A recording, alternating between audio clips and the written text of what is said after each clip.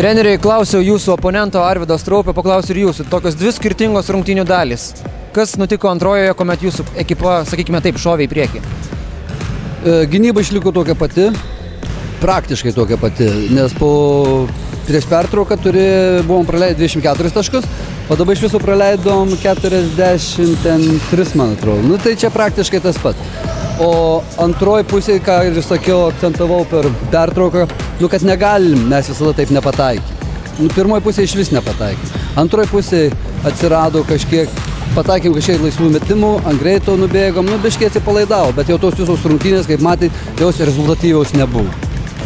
Nu, bet e, aš patenkintas, tuo labiau, kad vėl, vėl komanda matė, nu, apsigint ant prieš metikų komandą ant 43 taškų, tai jau čia tikrai didžiojus komanda, kad taip susigynėm. Kaip ir sakėt prieš rungtynės. Taip, klaidos. Mes viskas būtų buvę gražu, bet lygio vietoje duodam kamolius, tai kaip laimėsi varžybas. Kuo gali paaiškinti tą didelį klaidų skaičių? Dideliu jūsų auklėtiniu noru laimėti rungtynės? Jaunimas, jauni. Viskas.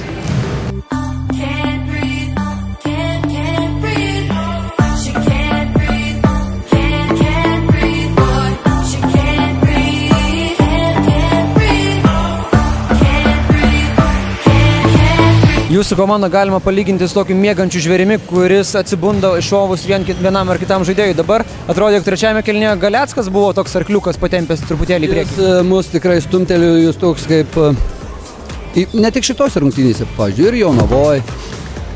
Jis e, įneša daug energijos į aikštelę. Ir, ir jis kaip pats įeina į tą aikštelę, įneša energijos ir nuo jo užsikrečia ir kiti, ir vyresni, ir, ir bendramžiai.